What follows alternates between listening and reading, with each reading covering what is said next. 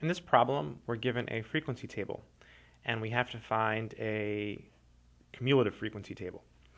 So it says age, years of best actress when award was won. So less than 30. So the, we want all the actresses that were less than 30. So here, 20 to 29, um, that's the first class, and we know that 28 actresses were here. So it'll be 28. The next one is less than 40. So that's going to include the 28 and the 33. So what you want to do is you want to add those up. Okay, so let me go to the calculator. So 28 plus 33. So that's 61. The next one is less than 50, so that'll be 28 plus 33 plus 13.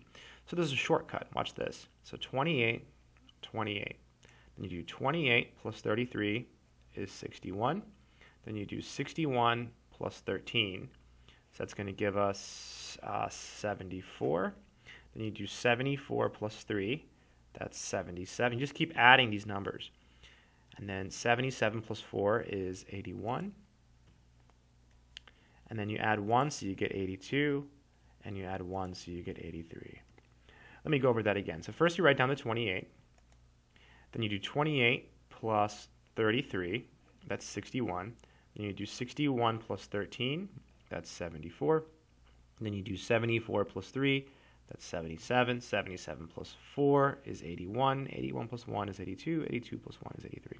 It's called a cumulative frequency. It's like a running total of the frequencies, right? So let's try it. That's it.